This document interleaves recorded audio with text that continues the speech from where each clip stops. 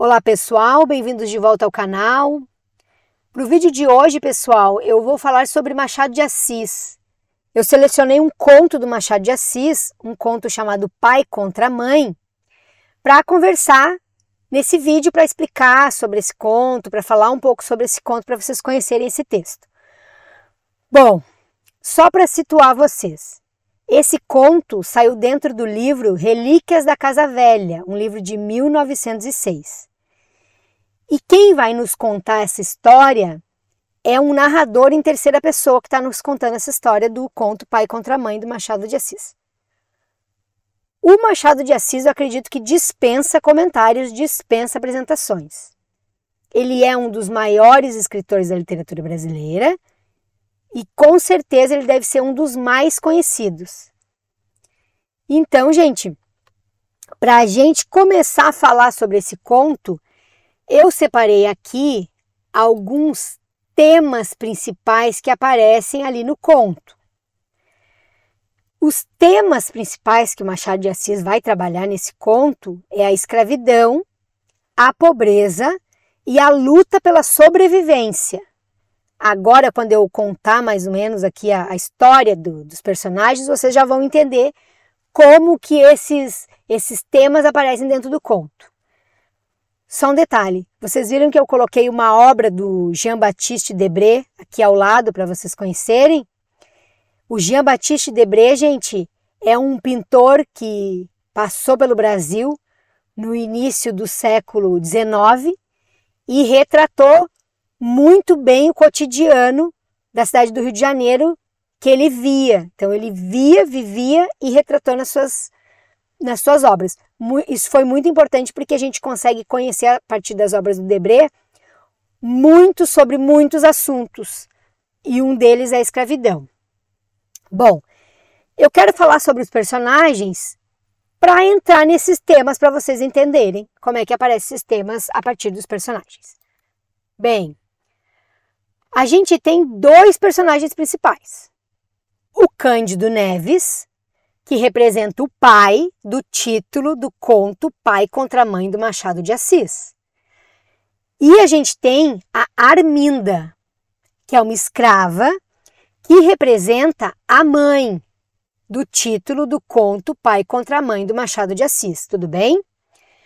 Bom, como é que como é que aparece a escravidão nesse, nesse conto? Como é que aparece a pobreza? Como é que aparece a luta pela sobrevivência?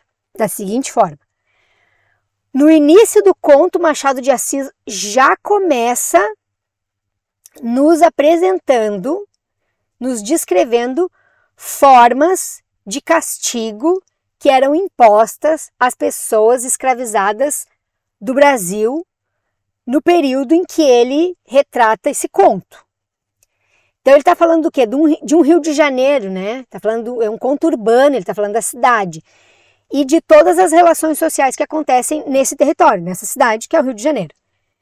No início do conto ele começa nos contando que durante a escravidão existiam alguns tipos de castigo que eram para regrar os escravos, então fazer os escravos aprenderem algo, para punir os escravos também, né? Então ele fala que tinham as argolas, as argolas que se colocavam no pescoço, que se colocavam nos pés das pessoas que eram escravizadas, que existia a máscara de Flandres, que era uma máscara que se colocava na, no rosto do escravizado, assim, que tinha só um, dois buracos para os olhos e um para o nariz, não tinha na boca, para impedir que ele bebesse. Então ele vai nos descrever um pouco sobre essa situação que uma pessoa que era escravizada naquele período vivia. Bom, em seguida, ele vai nos apresentar o Cândido Neves, o Candinho, um dos personagens principais. O Cândido Neves é muito pobre, assim como Arminda, que é uma escrava, fugida, o que é pior. Porque a punição para uma escrava fugida ou escravo fugido era terrível. Bem, então o Candinho e a Arminda representam tam também essa questão da pobreza. O Candinho é muito pobre, é casado com a Clara. Ele mora com a tia da Clara, a tia Mônica, né? Então moram o casal, mais essa tia Mônica num casebre. O dinheiro dele é muito curto, ele não consegue parar em emprego nenhum, ele não para em emprego nenhum. e a Clara está grávida, está prestes a, a parir o filho. A pobreza aumenta na mesma proporção que a barriga da Clara cresce.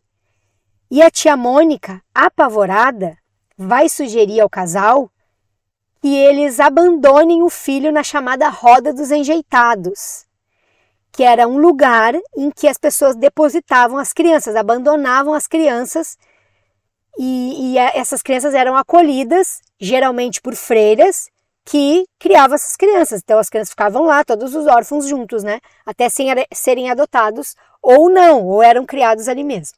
Bom, quando a Clara pare o filho, é chegada a hora do Candinho decidir abandonar esse filho. E ele é um menino ainda para piorar a situação. Um menino que eles queriam muito ter um menino. Então fica pior ainda a situação do Candinho. Ele vai ter que abandonar o filho e ainda quer o filho que ele estava desejando tanto.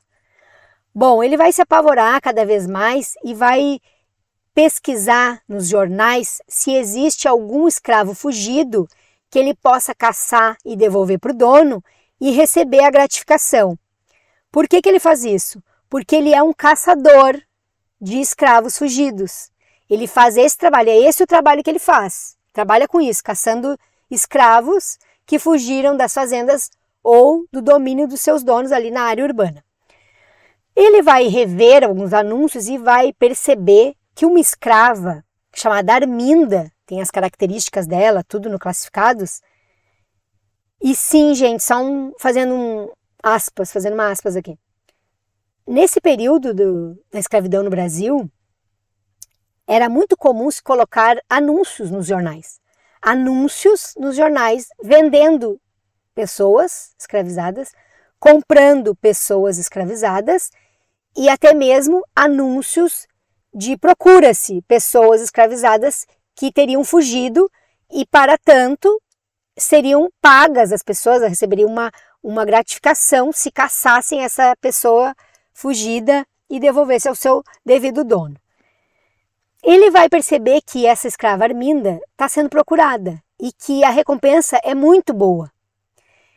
E ele então dá uma volta pelo Rio de Janeiro, tira algumas dúvidas, né, bisbilhota por ali, e chega numa farmácia e pergunta para o farmacêutico eh, se passando pelo dono da escrava, se ele tinha visto uma escrava assim, assim e tal.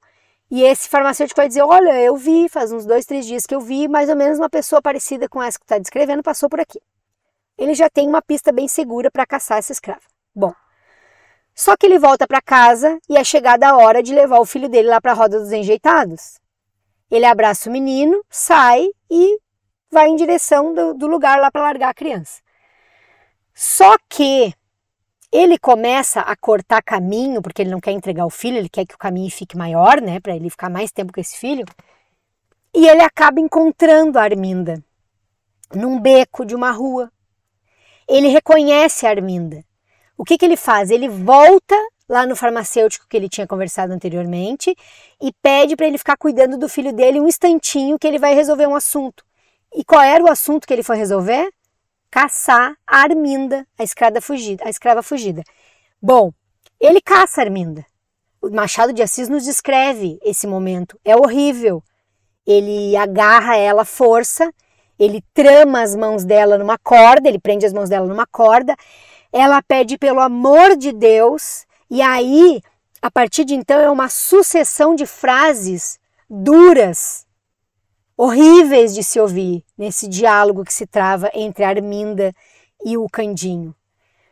No momento ela diz para ele: "Moço, pelo amor de Deus, eu tô grávida. Se eu voltar para a casa do meu dono, ele vai me bater e vai doer ainda mais porque eu tô grávida. Não me devolve pro meu dono. Eu, vou, eu posso ficar sendo a tua escrava pro resto da vida." E o Candinho diz: "O azar é teu. Tu devia ter pensado nisso antes, não mandei fazer filho e fugir. E agarra ela, amarra ela e leva ela arrastada pro dono dela. Ela resiste, mas acaba que não tem como ir contra, a força dele é maior, e ele entrega ela pro dono, o dono paga a recompensa, a gorda recompensa, e enquanto a, a escrava Arminda está jogada no chão chorando de dor, gritando de, de susto, de angústia, de tristeza, o dono paga essa recompensa ali pro Candinho, que é uma recompensa muito boa. E nesse momento, a Arminda aborta o filho. De tanta tristeza, de tanta angústia, de tanta apreensão. Então ela morre, é uma cena horrível que o Machado de Assis nos descreve. A Arminda morre, uh, desculpa, a Arminda não. A Arminda aborta o filho na frente do Candinho e do dono dela, que acabou de receber ela de volta ali na casa. Bom, Candinho vai embora, chega em casa, passa no farmacêutico, pega a criança com o farmacêutico e leva para casa a criança e a recompensa. Chega em casa, nossa, a tia Mônica e a Clara ficam super felizes, ainda mais que ele trouxe dinheiro. Então, por enquanto, a situação dele está resolvida. Ele vai ficar com o filho, porque foi uma gorda gratificação que ele recebeu. E o final do conto, gente, é muito triste. Ele olha para aquele filho e, talvez lembrando que a escrava abortou o filho dela, ele olha para aquele filho e diz o seguinte: Infelizmente, alguns vingam e, e outros não vingam nessa vida. Então, gente, esse conto resume toda essa situação de pobreza que as pessoas viviam, de luta pela sobrevivência, né? A escrava estava lutando pela sobrevivência do filho dela, o Candinho também. Então, por isso que o nome do, do conto é Pai contra Mãe, porque é o pai, né, o Candinho, lutando pela vida do filho dele, pela família dele, e a Arminda, lutando pelo filho dela e pela família dela. Bom, acho que é isso, né, gente? Eu acho que eu consegui passar a ideia aí do conto, depois vocês leiam aí, esse conto é muito famoso. Espero que vocês tenham gostado. E eu vou parando por aqui. Quem puder apoiar aí o canal, se inscreva aqui no canal e também torne-se membro aqui do canal. Contribuam aqui para ajudar a manter esse trabalho. Vou parando, tchau, tchau e até a próxima.